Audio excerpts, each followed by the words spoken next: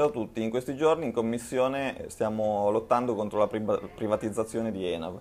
Enav è un'azienda strategica per il nostro paese, si occupa della sicurezza dei voli aerei. Il governo adesso ne vuole vendere il 49% per andare a diminuire il debito pubblico, anche se questa vendita però inciderebbe davvero minimamente sul, su questo debito. Tra l'altro l'azienda è inutile, nel 2012 ha guadagnato 23 milioni di euro e avrebbe potuto fare ancora meglio se non ci fossero stati due fallimenti di vettori aerei.